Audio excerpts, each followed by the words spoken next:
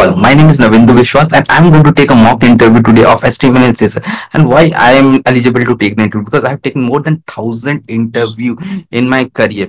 I have worked for more than 16 years in the development field, like uh, as a software developer, as a architect, as an in um, Bangalore based company, product based company. I worked in many big companies also like Oracle and JP Morgan. So that is about me. And in my last company also, I've taken more than uh, 500 interviews. Right now, I'm a full time trainer and the main uh, trainer and uh, owner of TWD, the channel in which you are seeing this thing. So I'm going to take this interview and this is as close as possible. This is for HTML and CSS only. And this is taken in companies who have like projects in HTML and CSS, not in companies for web app development, which requires HTML, CSS, JavaScript, and React. We are soon going to have that. But this is taken in company who have like small projects in HTML and CSS like that. In those companies, this kind of interviews are taken. Thank, thank you. Hope you learn from this interview. And let's get started. So let's get started again. So Bhargav, tell me the difference between uh, block level element and inline element in HTML.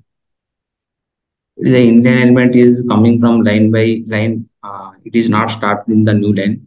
That block level element, it, it will start the uh, new line and it will take the full width to block level element. The block level element, uh, it will come one below the another but the inline element will come one after the another. The elements will come. Can you give me the some difference. example of inline element and block level element? Sir? Can you give me some example of inline element and block level element? Yes, sir. Yeah. What are the tags? What are the scheme? What are the what are the examples? Div element is a block level element. Image is a uh, inline element. No? Image, no, image and uh, i tag or bold tag. These are the inline elements. Uh, block level element is heading, uh, heading paragraph, div element. These are all are the block level elements. And uh, anchor tag is what? Link tag is what? We are moving from one one page to another page. Inline element or block level element? It is a inline element. Okay, that's good. Okay. What are semantic tags? Semantic tags is mainly uh, used for the is readability. When you when the new new person, new developer is come to the uh, the enhancements to uh, changes for the website, then he will find easily the uh, using the tags names so like uh, header tag, footer, section, uh, aside article uh, like this. Uh, we can mention the tag names like this. Hmm. That's good. Uh, okay. Um, why do we use that um, in a form? In a form, if there is a button, so why do we use that type equal to submit there? Type equal to we are using the Submit. submit. We are using the submit. We are using that. It is What inline, inline. The button tag inside, inline, inline. The form, if you have a button or input type some as input, but input is there. Why we are using type submit? Because we have to uh, submit the document, old document, because the form tag which is inside in the form tag, um, the old data. That's Okay, okay. Then okay, so that is okay. Now coming to CSS, what is inline, internal, and external CSS? inline element. Inline, uh, we are using three three types. It is inline. Inline means uh, we inside the element. Inside the element means uh, opening tag. We have the opening. there is a we have mentioned that like attribute to style attribute can use like that and the internal means we have the using the uh, head section uh, uh, style tag we are using. Start tag and end tag in the bitstrip in, in, in between we are using the selectors uh, class uh, like ids can that is the internal. The external means uh, the dot css extension file we are using to the separate page we have to write the css text in the on separate page. It is uh, which is a dot css extension page Um,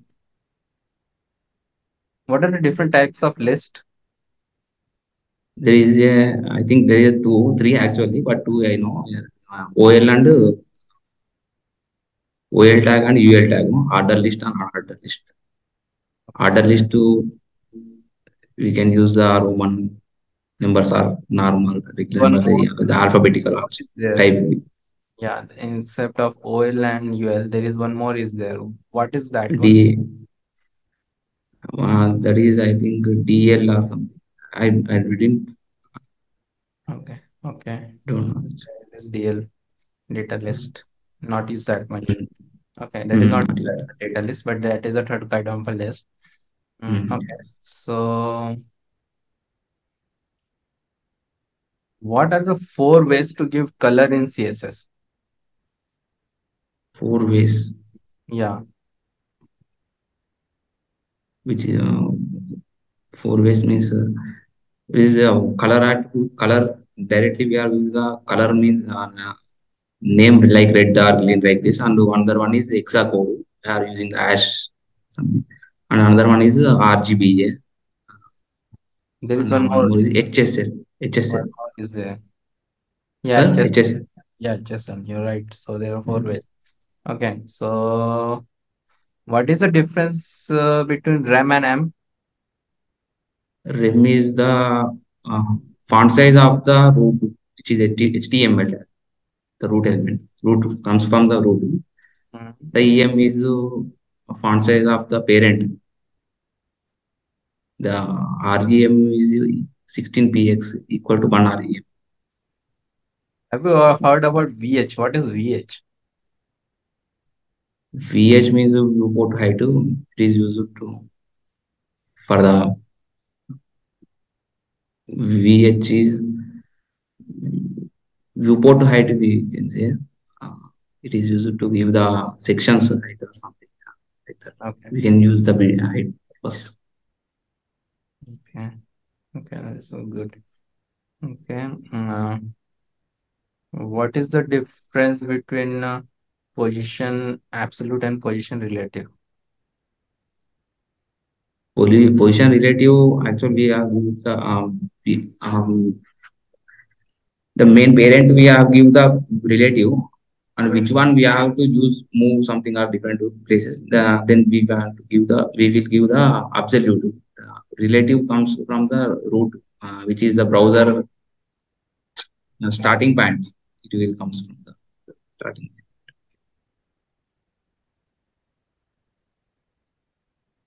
What is float left and float right?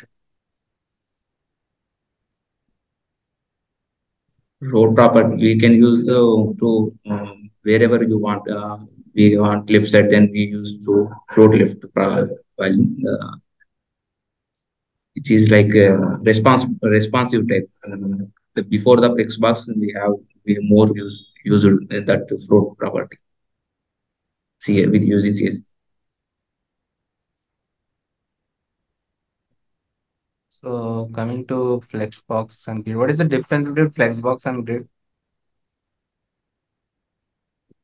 flex flexbox is a uh, one two dimension one dimensional and the grid is a two dimensional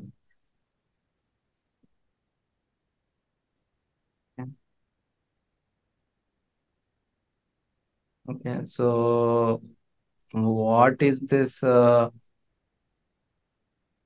uh, flex direction property?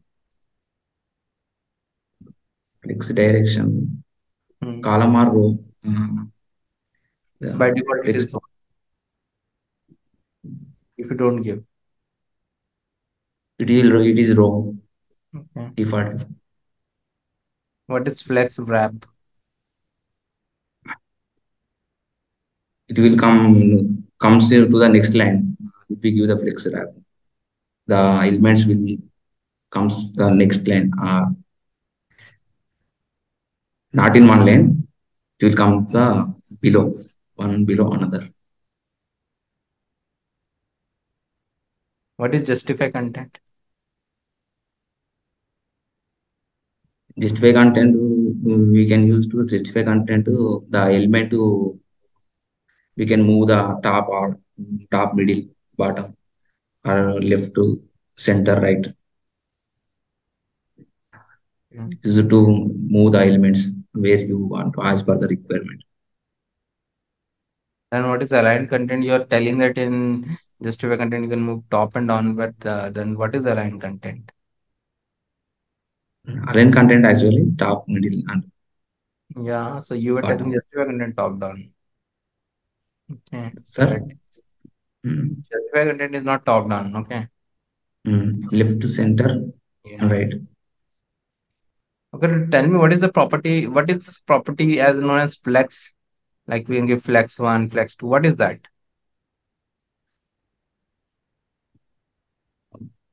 Flex one, flex two. Ah, the What is that? flex.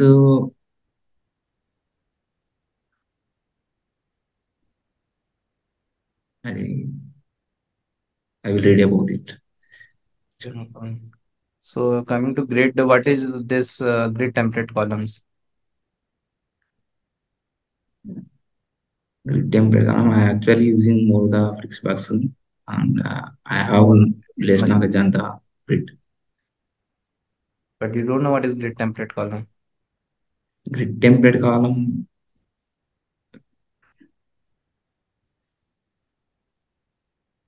Professor, I will see that.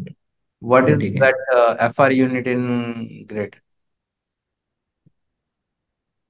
FR unit. Yeah, Yeah, FR unit. FR frequencies. Uh, uh, FR3, FR2, if we give that, uh, the inside the children's children's who Mhm. actually we can give the property to the children FR. So in grid, what is the difference between uh, align self and justify self? Align self and justify self. Align means vertically, justify means horizontally.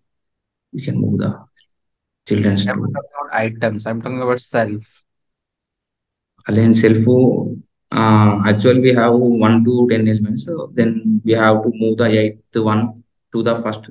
Then we have to use that align um, align self uh, property. Okay. Now I'll give you a coding challenge. Uh, please start uh, sharing your screen.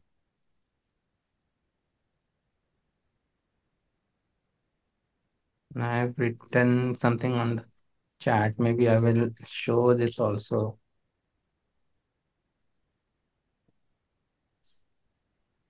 Wait, wait, wait. Okay, uh, one second, and you don't share. First, let me share, and I will show. So there is a say, share screen button is there. The below you can show it with that. Okay.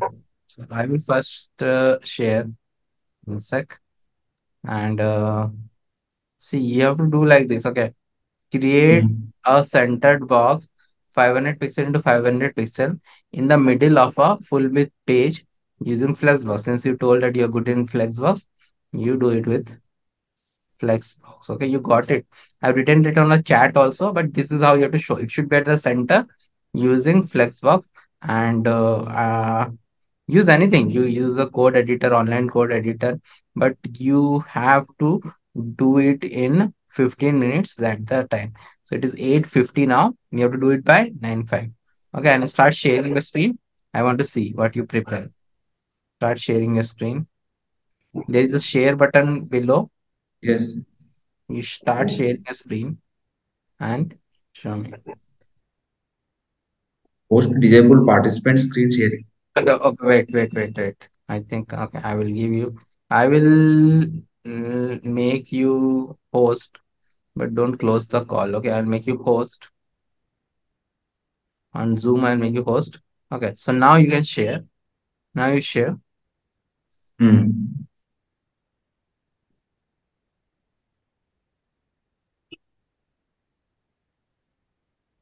Okay. It is So, visible, sir. okay. So you can use anything like now from VS Code to anything you can use. It's up to you. Whatever you're comfortable, use it and create this thing. So first create the HTML and then create the CSS. Okay.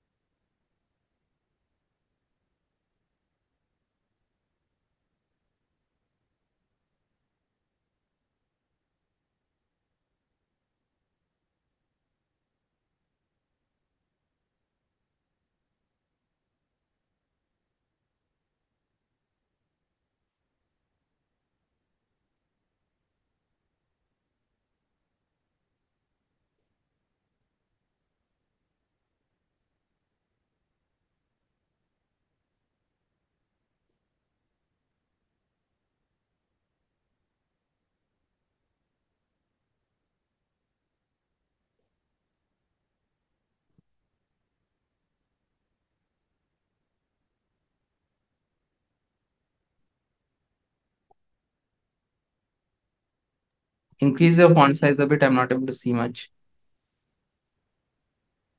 Okay, it's okay. Okay, okay.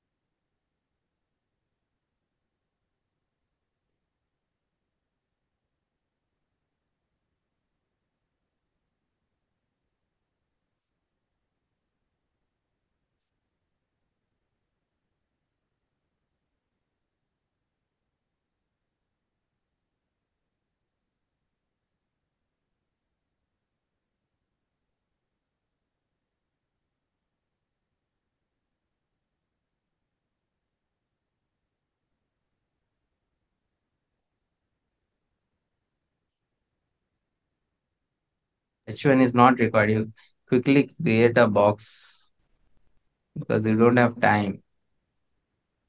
Hmm. This is connecting now.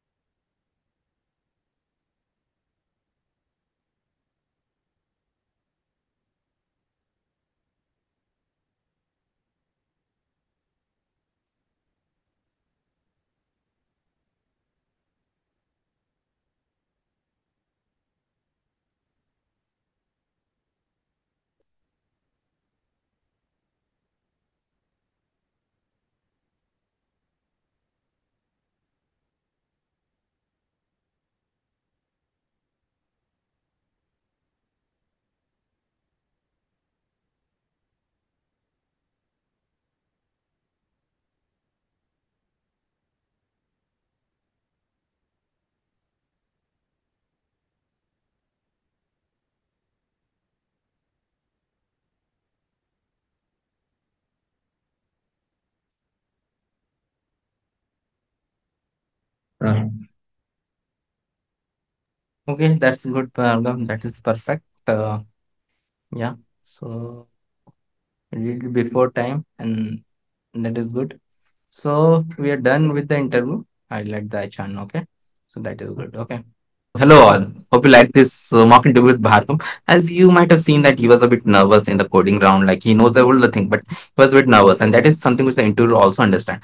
And uh, what the interviewer does after the interview, they give the like uh, whatever I was writing, that writing was will go to the HR, and then they will decide if it's a positive thing. Definitely, the person will go to the next round, which is generally a managerial technical round but the manager generally don't ask that much technical questions. Only like the main technical round is this one only. The manager will ask less technical round less technical questions and some a bit uh, eh, uh, questions about how that guy will fit in the company. So those things will happen happen. And at the end there is a offer will be placed. So this is how it works.